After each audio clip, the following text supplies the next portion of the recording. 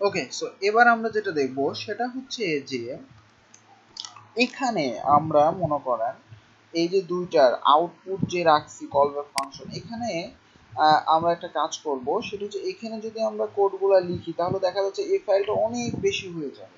Suppose মনে করেন একটা ফর্ম যদি আমরা বানাই, যে একটা স্টুডেন্ট ফর্ম তাহলে কিন্তু এখানে এসটিএমএল এর অনেক নেম অ্যাড্রেস এজ তারপরে জেন্ডার অনেক কিছু হয়ে যাচ্ছে না, তারপরে আবার এটার ক্ষেত্রে এভাবে কিন্তু এই ফাইলটা অনেক বেশি লোড হয়ে যাচ্ছে। সো আমরা এটার জন্য একটা কাজ করতে পারি, সেটা হচ্ছে আমরা এখানে জাস্ট আমরা বাইরে দুটো ফাইল বানাবো, ওই দুইটা ফাইলকে এখানে লোড ইনক্লুড করব ঠিক আছে? সো এটা কীভাবে করতে পারি? আমাদের যে প্লাগ ইন এই যে কাস্টম প্লাগ ইন এর মধ্যে আমরা একটা ফোল্ডার বানাই হচ্ছে ভিউজ তবে যে কোনো একটা নাম দিতে পারেন আমি দিলাম। ভিউজ ওকে সো এই ভিউজ এর মধ্যে আমরা দুইটা ফাইল রাখতে পারি। একটা হচ্ছে add new dot PHP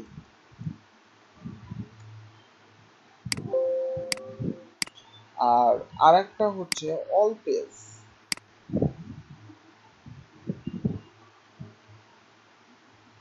dot okay এবার এই দুইটা আমরা কি করব?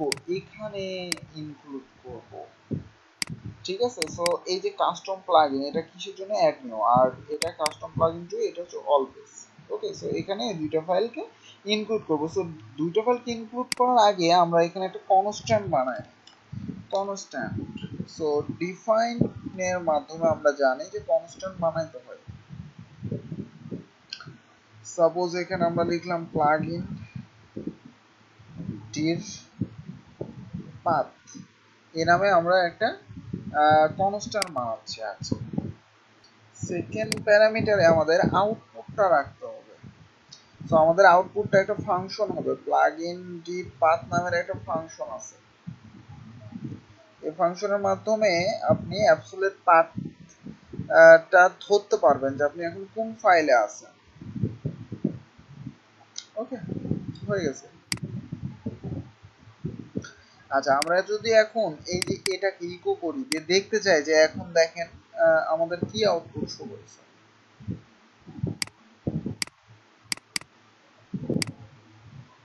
ইকো এটা। ওকে তারপরে নিচেরগুলা আর শো করবে না। সো ডাই করে দিলাম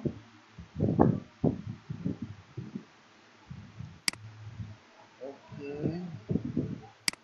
সো এখানে একটা রিলোড দেন এই যে দেখেন, আমাদের পাথটা কিন্তু এখন শো করতেছে যে আমরা কোন পাথের মধ্যে আছি। এই যে আমাদের ফোল্ডারের মধ্যে মাই প্লাগইন তারপরে ডাব্লিউপি কন্টেন্ট প্লাগইনস এর মধ্যে কাস্টম প্লাগইন দেখছেন? কাস্টম প্লাগইন ফোল্ডারের মধ্যে আমরা আছি না ফাইলটার মধ্যে। সো সেটা ধরছে তো সেটার মধ্যে আবার কি আছে এখন আমরা ভিউজ তাই না? ভিউজ এর মধ্যে ওই ফাইলগুলো সো আমাদের এটার মাধ্যমে কিন্তু আমরা এই ডিরেক্টরিটা পেয়ে যাচ্ছি সুন্দরভাবে সেই জন্য আমি এখানে একটা কনস্ট্যান্ট ডিফাইন করে নিলাম। এখন এটা দিয়ে কাজ করব।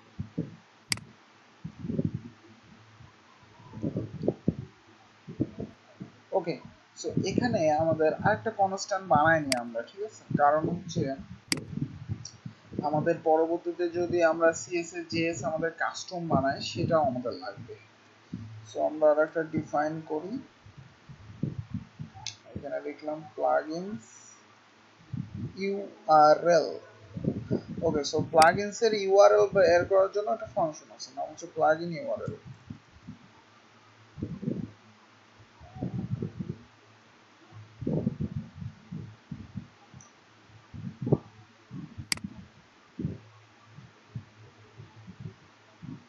plugin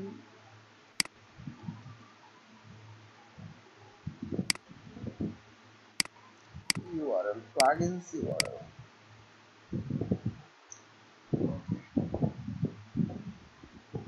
so এই যে প্লাগইনস ইউআরএলটা কি?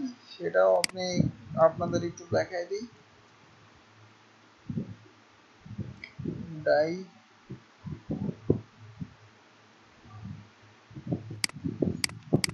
রিলোড থাক এই যে দেখেন এইচটিটিপি থেকে সে কিন্তু আপনার প্লাগইনস পর্যন্ত ডিরেক্টরিটা নিয়ে নিচ্ছে। তাই না? সো আমাদের এটাও লাগবে। এটা আমাদের সিএসএস জেএস ইমেজেস এগুলাকে লিংক করানোর ক্ষেত্রে এটা লাগবে। ঠিক আছে? ওকে ওকে সো এবার আমরা এখানে কাজ করি। সেটা হচ্ছে আমরা এখানে ইনক্লুড ওয়ান্স করতে পারি। ইনক্লুড ওয়ান্স কি হবে? এই যে ডিরপাত ডিরপাত মানে এখন সে একদম আমাদের প্লাগইনস এর যে কাস্টম প্লাগইন ফোল্ডারটা সেখান পর্যন্ত নেবে। আচ্ছা নেওয়ার পর কি হবে? ডট হবে একটা। ডট হয়ে জোড়া লাগবে কি? স্ল্যাশ ভিউজ ভিউজের মধ্যে আমাদের ফোল্ডারের নামটা তারপরে আমাদের ফাইলের নামটা so add new dot PSP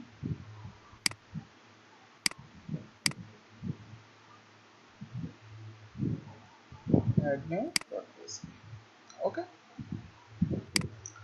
same ভাবে আমরা এইটার মধ্যেও ইনক্লুড করে দিলাম। এখানে কি all page dot PSP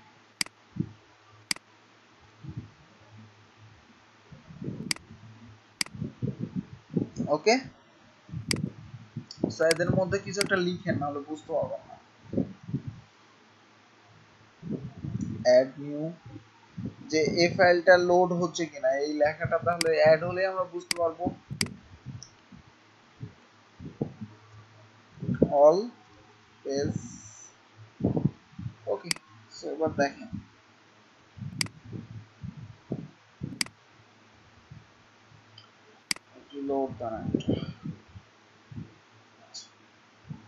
so আমাদের কাস্টম এই যে লেখাটা শুরু করছে। গেলে ওকে পারফেক্টলি কিন্তু আমাদের লোড হচ্ছে আলাদা ইজিলি এখন আমরা ওই ফাইল থেকে কাজ করতে পারব।